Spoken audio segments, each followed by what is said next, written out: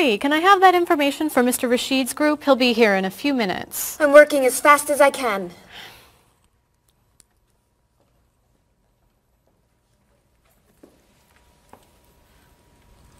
Mr. Evans will be with you very soon. That's fine. I'm a little early, aren't I? Just a few minutes. Is your last name pronounced LePage? It's Lepage, actually. Oh, that's beautiful. Thank you. Now, is it Ms. Lepage or Mrs. Lepage? Um, it's Ms.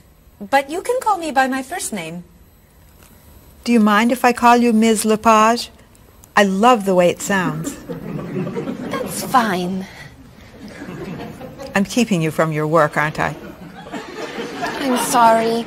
I'd love to talk, but I really have to get this done right away. I understand. You're not from here, are you? Excuse me? Your accent. You come from France, don't you? Yes. Paris, actually. That's nice.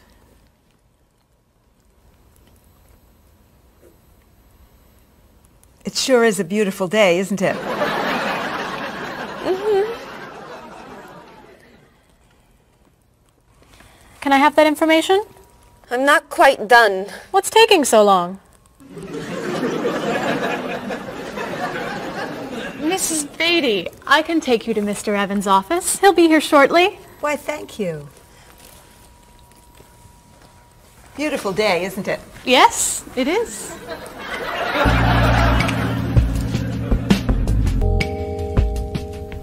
Paul, we have our first group from India coming next week. Since Mr. Rashid has traveled to India many times, I've asked him to talk to you about etiquette in India. Mr. Rashid. Paul, why don't you greet me as if I were an Indian tourist? Ask me to come with you and show me to the tour bus. Okay, uh, hi there, I'm Paul. Oh, if I were an Indian woman, you would have just insulted me. Women and men generally do not touch. Okay, uh, hi there. You just told me to go away. Oh, I'm sorry. Oh, too close. You should stand this far away from someone. Instead of shaking hands, do this and say, Namaste. Namaste. Excellent. Now, tell me to come with you to the tour bus. Okay, come with me. This is a rude gesture in India. Do it like this. Come with me. Good, good. To the bus over there. I know, I just insulted you. Pointing with your fingers is considered impolite. Use your chin instead. to the bus over there. I'm never gonna get this. So you're doing Oh, wonderfully. thank you, Mr. Oh, too close!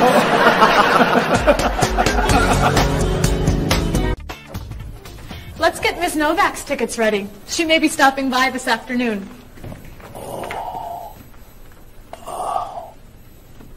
Paul, are you okay? No, I feel awful. What's wrong? I've got this horrible cold. I'm sneezing.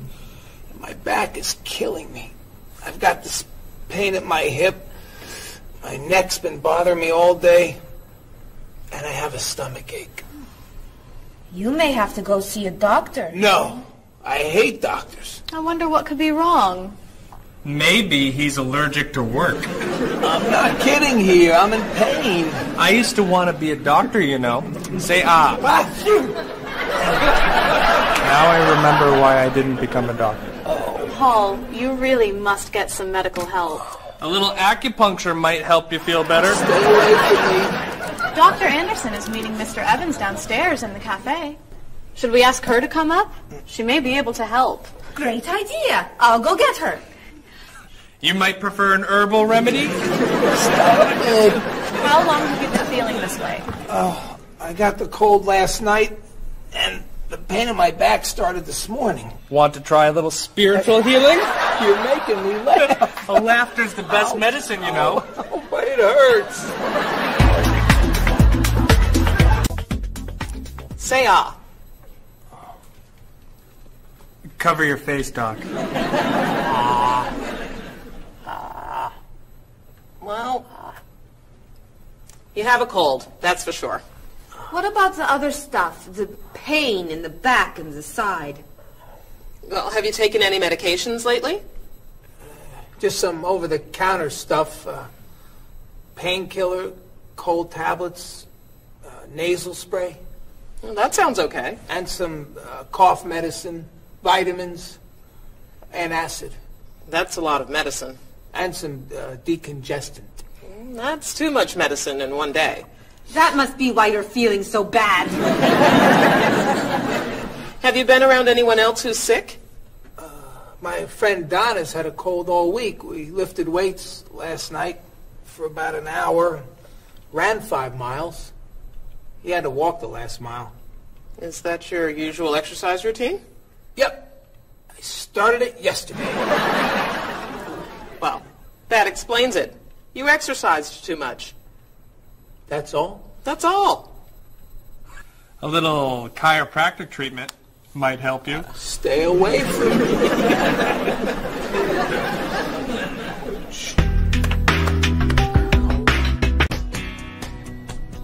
Now, about the travel documents for the Australian group.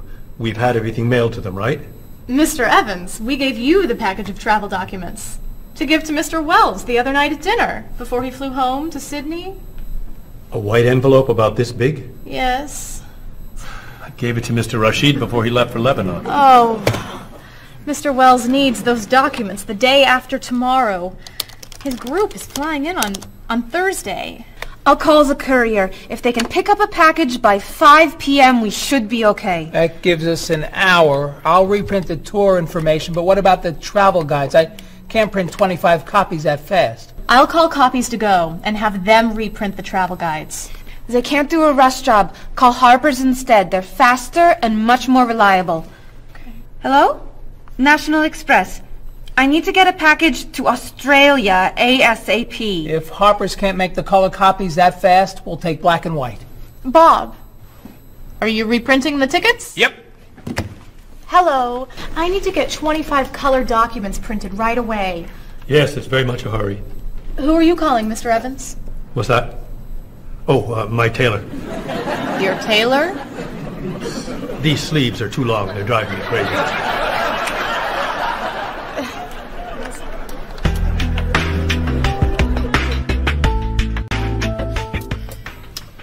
Thank you, everyone, for fixing my mistake with Mr. Wells.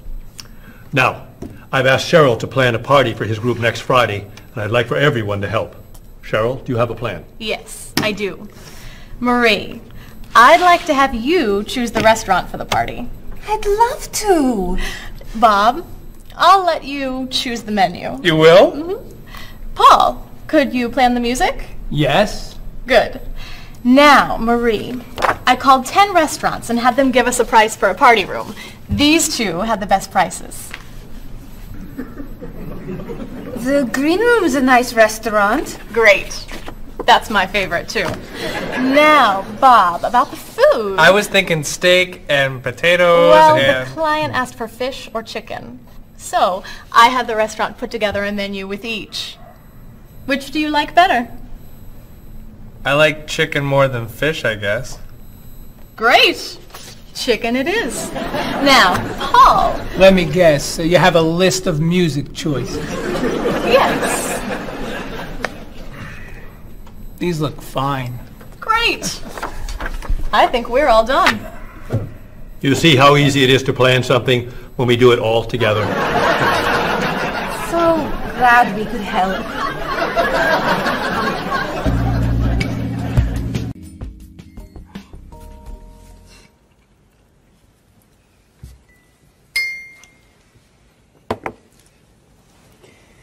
Another wonderful dinner, Cheryl. Thank you. You're welcome.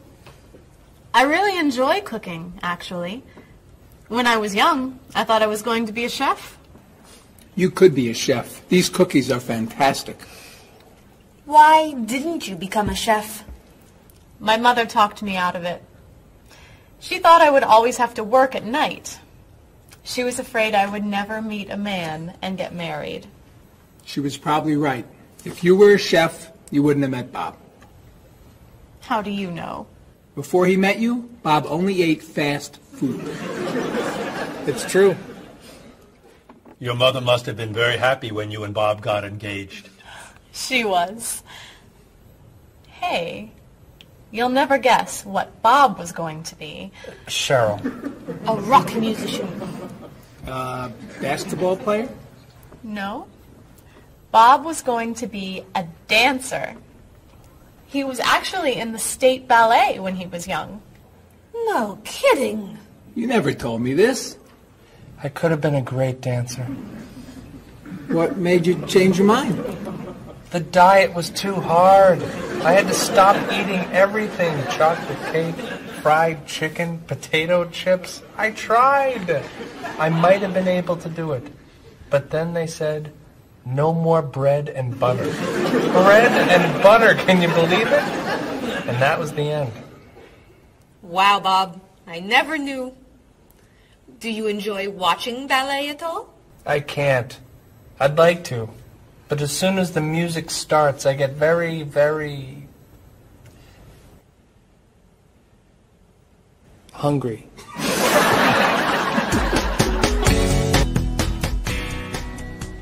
What about you, Mr. Evans?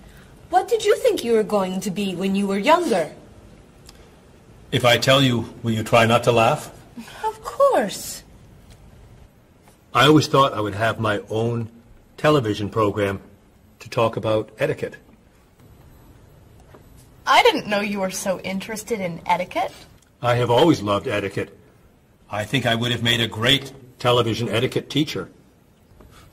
Well, I think you could still do it. It's perfect for you. Really? Why? Well, you're very polite, for one thing. You always know which fork to use at a restaurant? That's a real talent. You've taught me a lot about the customs of other cultures. Maybe I could still give it a try. Today's topic, dinner conversation. If your international guests look offended and are leaving the table early, you've probably chosen a topic that's taboo in their home country. Find out what's acceptable and what's not. Coming up on International Etiquette with Evans. What do you think? Wow. Amazing. Unforgettable. You have a real talent, all right? Thank you.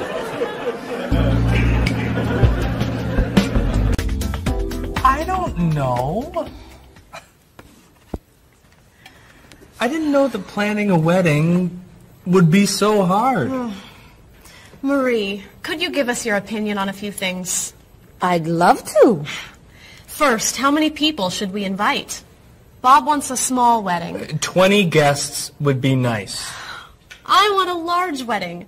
About 300 people. 300. Yesterday you said 200. I have a lot of relatives who want to come. Then there's the location. I always thought I'd get married in a park or at the beach. That's so romantic. I would like to get married indoors, where I won't get wet if it's raining. That makes sense. I prefer traditional music in the ceremony. Contemporary music. I'd like a long ceremony and a short reception. I want a short ceremony and a huge celebration afterwards. I want a white cake. And I want... A chocolate cake. I know. How are we ever going to agree on this? Don't hurt yourself. Here's an idea that might work. Plan a wedding that's big enough to include all of Cheryl's family, sorry Bob, in the park on Oak Street that has that building where you can go if it rains. You can have traditional music in the ceremony and contemporary music at the party. And you could have two cakes at the reception, one white and one chocolate. Sounds okay to me. Me too. Hey, we did it! Oh, yay! Oh, I'm so happy. Excuse me? Oh, Marie, thank you so much. You're amazing. We couldn't have done it without you.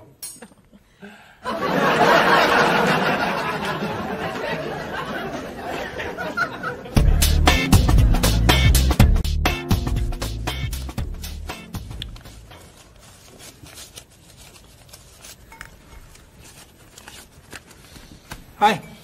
Lunchtime is over. Are you coming up to the office? I'm too tired to go back to the office. Planning a wedding is hard work. I need a holiday.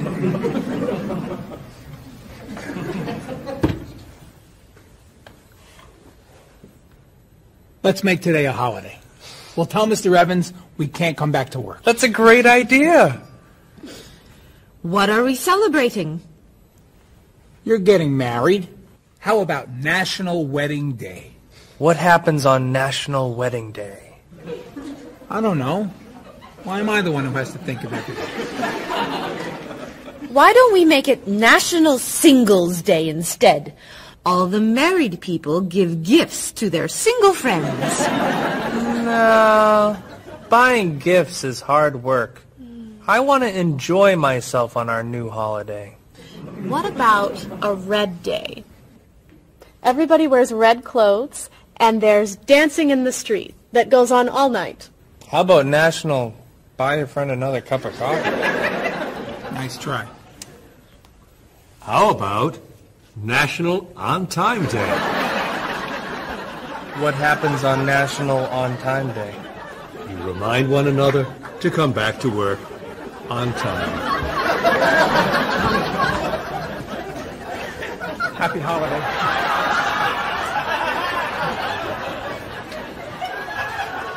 Waitress.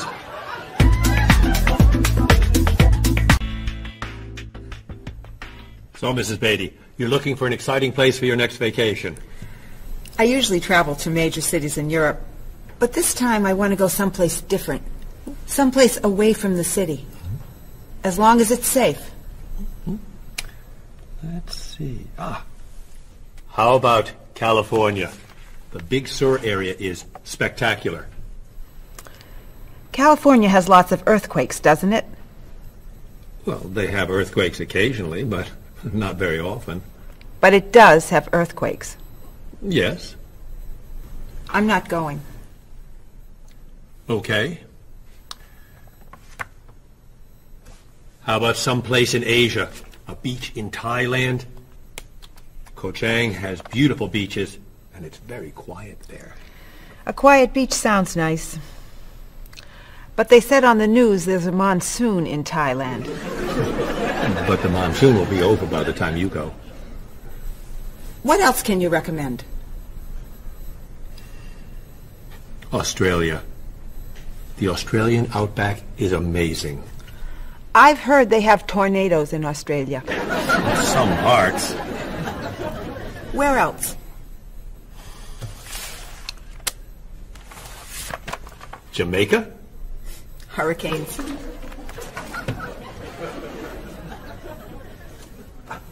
South Africa? Floods. Hawaii?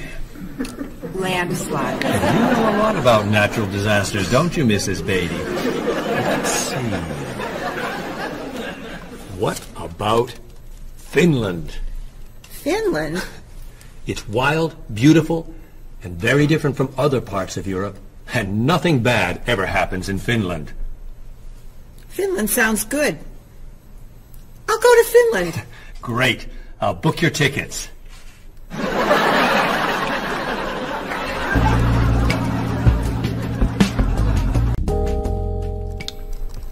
Okay, I just booked your tickets to Helsinki, Finland. You'll be staying at the Palace Hotel. That's great. Excuse me, Mr. Evans. Yes, Marie. Mr. Woods is on the phone. He told me to tell you it's urgent. Urgent? He's traveling, you know. Yes. He said there's some kind of epidemic. What kind of epidemic? It sounds like it's that new influenza. But he was vaccinated for that before he left. I know, but he told me to tell you that he wants to fly home today. On the internet, it says only three people are sick. That is not an epidemic. And it's not like anybody's dying from this flu. He said he didn't want to be the first. Where is he traveling, may I ask? He's in Finland. Finland? I just booked tickets to Finland. Mrs. Beatty, everything will be fine. You'll get vaccinated, and you'll have nothing to worry about. I'm not going to Finland. You told me nothing bad ever happens in Finland. Mrs. Beatty, I can't think of anywhere in the world you can go and be completely safe. Right here in this city, you could go outside and get hit by a bus. But you can't let that stop you from doing the things you want to do. Look, why don't we go to lunch and we'll talk it over? Don't think she's going anywhere.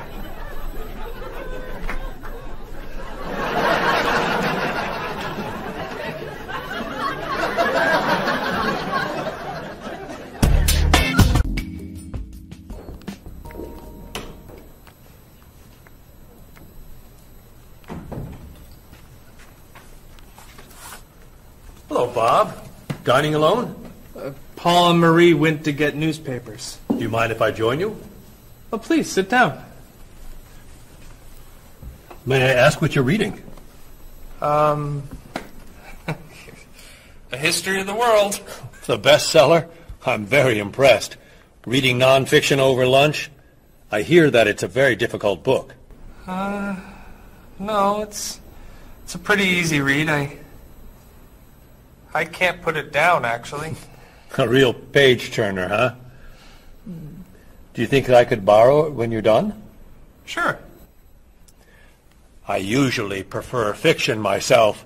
You know, thrillers, mysteries. There's nothing like curling up with a good science fiction novel, is there? You read science fiction too? Don't tell anyone. Are you learning a lot from your book? Uh, yeah, I think so. So, tell me what you're reading about right now. Um, this part is about Great Britain. Really? Do you mind if I take a look? Cheryl hates when I read comics. Then I can understand why you can't put the book down. You think that I could borrow it then? Well, I'm still reading this one, but I have another one I can loan you. I meant this one. Oh. Help yourself.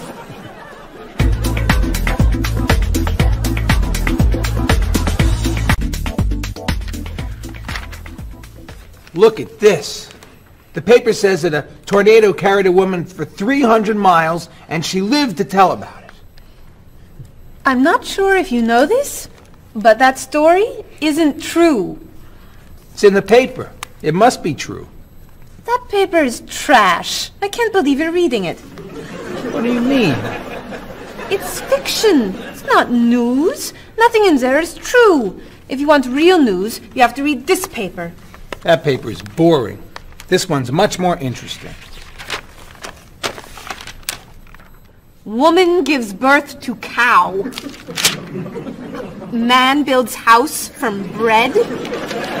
Baby with two heads? Come on, this is offensive. Storm kills 100 in Texas. Train accident kills five, injures more. Man kills wife and son. I'm sorry, but all that death and destruction is pretty offensive to me. I know that these things happened, and I know that those didn't. You don't know that. You just assume that it's true. Let's ask Bob and Mr. Evans what paper they read. Never mind. Let's just read. That sounds good to me. Look at this. A man with four legs.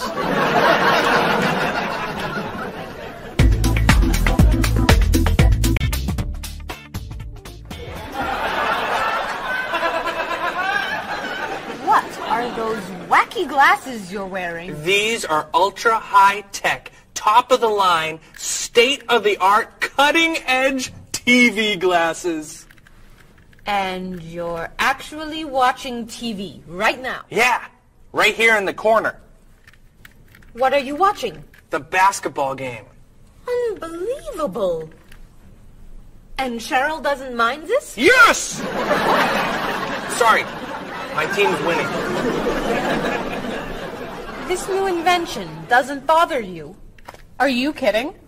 If I'd known how happy they would make him, I would have bought those glasses for Bob long ago. Technology today is amazing. You know, I wish they'd invent something that would make people who talk on cell phones quieter. This guy in the cafe today was so loud I couldn't hear myself talking. it wasn't funny. What? Oh, sorry. I was laughing at this guy on TV. If I could invent something, it would be a thing for Bob's car that would automatically charge him when he goes over the speed limit. He drives so fast sometimes, but he'd slow down if he had to pay. No! Is your team losing? No! I heard what you said. You just leave my car alone.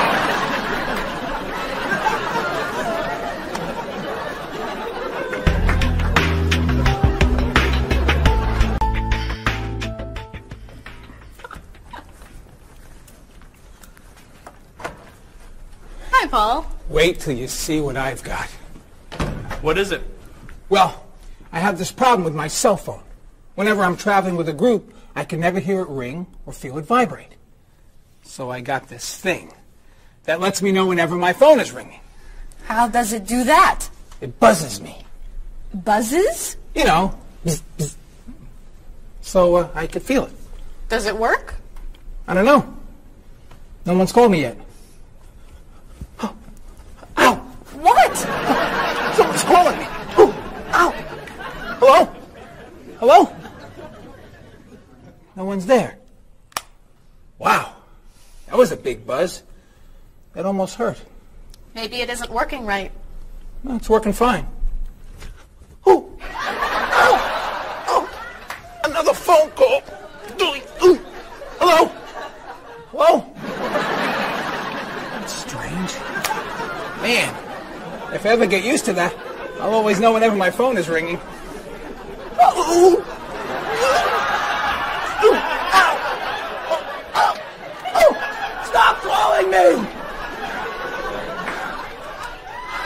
Paul, if I were you, I would take that thing back to the store before you hurt yourself. I'm going. I'll see you later.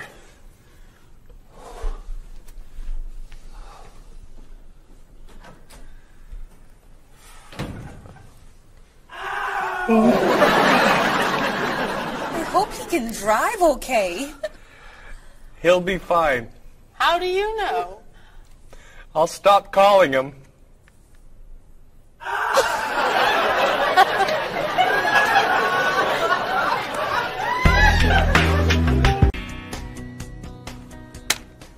Did you see the politicians expect to raise taxes again? Really? What does the government decide to spend our money on now? They're planning to build a stronger military. It's wrong to spend so much on the military. They should spend it on education instead. Can we please avoid discussing politics? Why? Every time we begin talking about politics, people get mad at each other. They should spend more money on fighting corruption. If they were able to stop corrupt officials, maybe they wouldn't need to raise our taxes. That's true, but I think we need to spend more money on the military. Without a strong military, the world won't be very safe.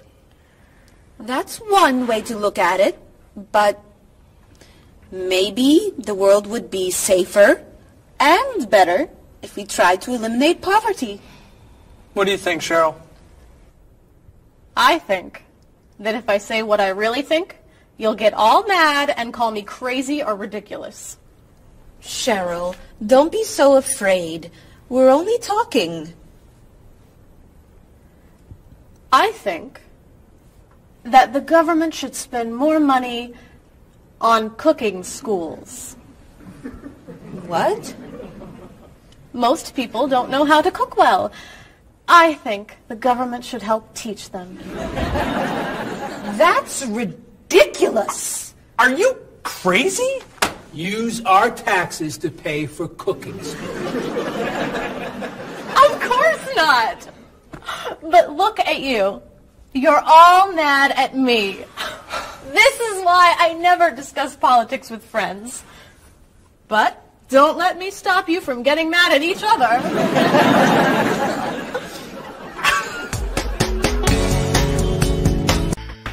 Are you traditional in your medical ideas? That is, do you kind of believe in Western medicine or do you like to explore non-traditional treatments such as acupuncture or homeopathic medicine? Um, I don't explore uh, non-traditional treatments as much as I would probably like to. I think there's probably a lot of merit in them and they haven't been studied enough. I'm more traditional than anything else in my, in my medication or my medical practices. I'm more for the naturalistic approach. I like, um, you know, more na- natural um, herbal medicines. In your opinion, what are the advantages of traditional Western medicine and surgery? Uh, I think the enormous amount of research and, uh, and uh, proven fact that, that, that's behind our medicine uh, just uh, makes, it, makes me feel more comfortable with it. What do you see as maybe some disadvantages of Western medicine? Um, I think at times Western medicine can make the problem worse in trying to make problems better. Are there any non-traditional therapies that you use? Um, I drink a lot of tea, actually, so I guess that's pretty non-traditional. Um, usually when I feel myself coming down with something, I will take an echinacea, which is an herbal medicine. Uh, uh, prior, drink a lot of orange juice since vitamin C helps you. But if I feel really sick, then I'll take a cough medicine. Could you tell me what your career or occupation is? I'm an elementary school teacher. My career path will be in marketing, helping uh, companies build their brand and help market products to a, the general consumer. Um, I work in um, television and um, I would like to eventually produce and direct. Did you think that uh, you'd be in marketing when you were a child? Uh, no. I thought I'd be president of the United States or drive a fire truck. What made teaching a good career for you? First of all, I love children, and I liked the idea of imparting some of my knowledge to young ones. Everybody has skills, talents, and abilities. So, you know, some people are artistic, others have mechanical ability. What would you say are some of your skills? Um, I would say um, I have a lot of artistic ability. Um, I did a lot of art in um, school. Uh, good question. Uh, my skills and talents would be uh, coming up with new ideas, different ideas, creative ideas that kind of build a buzz around a product. Do you think that talents and abilities are genetic? I think they're a combination of both genetics and environment. I think that you are born with certain um, qualities that your parents, I think, are have and, and just living with the people around you and, and, and um, learning from your teachers and those that you're constantly interacting with, you pick up certain skills. You're from Germany. What is a wedding like in Germany? Well, first of all, you have to have a civil ceremony where you go to um, to the city hall, and well, you make it you make everything official. And then traditionally, you go to church and have the religious ceremony. And is there a wedding reception afterward? Usually there is, of course. Um, after church, when everybody's waiting for the groom and the bride coming out and throwing rice at them and flowers, and then the whole crew is going to a nice place, having dinner and having a party. You mentioned that uh, your family's originally from Ghana. Yes. Could you tell me a little bit about the uh, courtship and, and marriage ceremonies of your country? Um, there is a traditional, sometimes they do involve like the American type of wedding, the very traditional, you walk down the aisle, and but they also, in, um, there is also the traditional part in African culture. And um, you wear the clothing, the outfits, it's much longer. Um, sometimes it can go into the next day. Some people it extends. Tell me about the reception. They find a place to go to, or it's uh, out outside. Sometimes it's a big tent. Like it just depends on the bride and groom and what they want. And there's tons of dancing, traditional dancing, um, eating, lots of food. Um, sometimes you have somebody come in and talk about how they know him and how um, how good he is and what he's done, and you know, people giving thoughts of wisdom of how to be together, and it just it's just really a great thing. How do you feel about prohibiting smoking indoors? As a smoker, I don't appreciate it all the time, but uh, I can I can understand why. I think it's fantastic. Um, I think it's great. If you don't, if you go to restaurants and nobody can smoke, the food tastes better and your clothes don't smell. How about censorship of books or movies by a government? I am 100% against censorship of any books or movies or any expression um, of creativity. Um, and I feel that when governments try to censor books or movies, then it creates a, a sort of atmosphere of, of, fear and people don't get to, don't have uh, ready access to information that um, should be available to them. If you could tell me maybe two things that you think are big problems in the world today. I think one of the biggest problems is war, and I think another big problem is racism in this world. And of those, could you tell me, um, you know, a little bit more about what you think could be done to uh, alleviate these problems? I think actually with both problems, it's mostly about understanding each other and sitting down on a table and talk and get to know each other and and um, be able to make more compromises and, and understand different cultures and reasons why people do certain things certain ways. And I think we would all be much happier. Communication. Communication, that's the, that's the clue, exactly. Yeah.